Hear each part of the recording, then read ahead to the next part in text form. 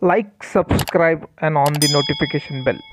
And guys second goal for chivas team against puebla. You can see manuel mayorga score a goal against puebla. Guys guys if you are a fan of manuel mayorga don't forget to like share and subscribe the channel on the notification bell guys. Once again i will say chivas is now leading 2-1 against puebla. Guys guys if you are a fan of puebla don't for, if you are a fan of puebla if you are a fan of chivas manuel Mayorga score a goal against Puebla guys. Thank you very much for watching this video guys. Share this video. Thank you very much